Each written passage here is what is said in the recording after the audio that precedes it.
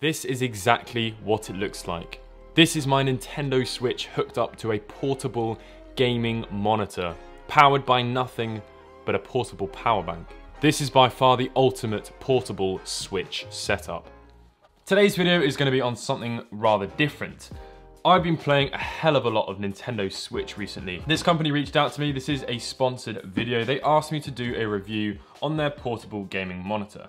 So this is the G-Story GS156WT 1080p 60Hz portable monitor. And my god, is this thing stunning. This obviously isn't limited to the Switch. You can use this with any console. The Switch is just a really good example because it's a portable console. So although you can plug your PS4 and Xbox into this thing and you can just power this out of the USB from the PlayStation, you're probably not going to be playing PlayStation portably on a train. So this thing has a 15.6 inch touchscreen display with HDR the whole thing is running USB-C and it's metal and it's aluminium, so it feels very modern. They definitely haven't sort of cut any corners on that.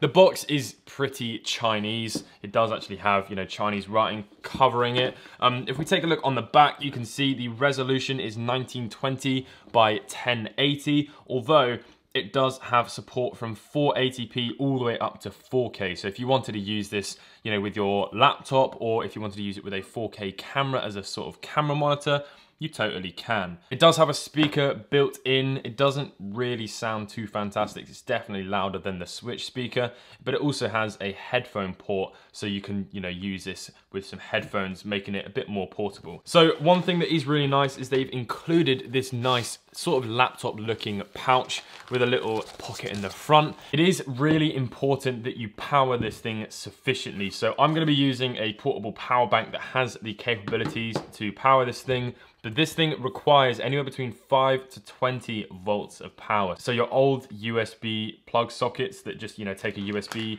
from an old iPhone or whatever, that isn't going to be sufficient and you will get some sort of power issues from this. It's really nice that obviously that they've included this pouch so you can just sort of chuck everything into the case and then you have this fully portable sort of setup that you can just take around with you, plonk down, get your screen out, get your controller out. Um, I'm gonna be using a Pro controller for this, and then just play Nintendo Switch using a beautiful display. Um, it comes with a nice sort of cover for it just to protect the screen, which also does act as a kickstand. So you just sort of turn it around like that. It's got magnets on the back of it, and then you just prop it up. On this side, you have a little sort of uh, volume wheel that also acts as your menu button. And then on this side, you have the different inputs. So this is a audio output two USB Type-C that can act and take both video and power, power in and power out. You've got a micro or mini HDMI, um, and it does come with all of these sufficient cables to be plugging this thing in, so it does include this sort of gold plated mini HDMI cable,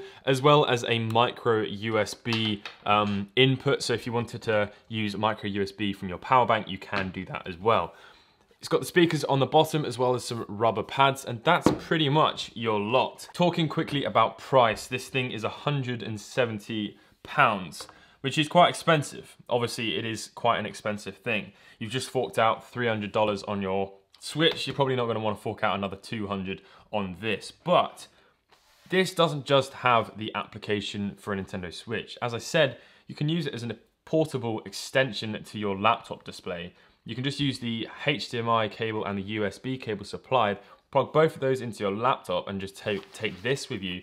And that is a truly portable display that allows you to have a lot more real estate when you're editing or whatever you're doing. So if I plug the USB type A to USB-C into my portable power bank, that will then power this thing sufficiently. And then if I plug the USB-C cable into the bottom of my switch, and then the other end into the side of the monitor. There we go, just like that.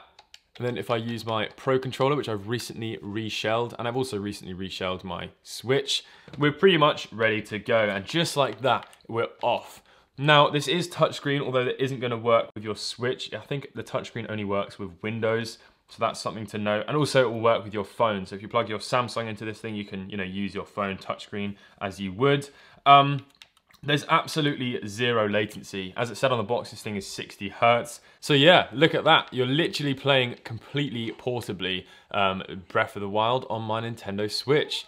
And as I mentioned, you know, you can use this with your laptop or PlayStation or Xbox, whatever you fancy. Really, really cool little thing. Um, I'm definitely gonna get a lot of use out of it. I probably, I'm gonna get more use out of it with my laptop than with my Switch because um, for the most part of this, I'm just gonna use the Switch on its own, or when I'm home, I'll plug it into my, you know, my bigger television or what have you.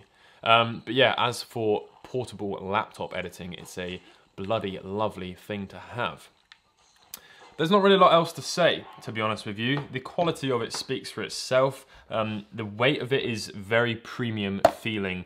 Um, yeah, it's a lovely thing. It's just hard to sort of justify spending a load of money on what is essentially just an accessory to the Switch. It's not a necessity.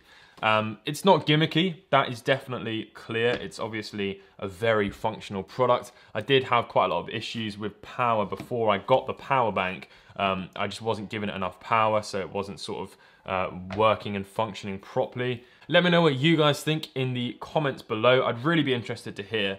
Um, I'm gonna 100% get a lot of use out of this thing. I'm always really transparent with my videos. This obviously has been paid and also this video will be sent to this company for review before it goes public, but there really isn't a lot else to say. There's no flaws, there's no manufacturing flaws, there's no faults with it. It's, it does exactly what it says it does on the tin and it does it very well. I really enjoyed using this thing with my laptop. Honestly, that was probably, I'm probably gonna get more enjoyment out of that, as I said. This isn't the only thing that G-Story make. They also sent me a um, classic mini console, sort of portable. It's really cool. It was 120 pounds. Definitely not something that I would personally buy. If you guys want to check out G-Story, I'll leave all of the links below so you can go ahead and check them out. If you want to pick this thing up on Amazon, there will be affiliate links in the description below. I hope you guys have enjoyed this video and I will catch you in the next one. Peace.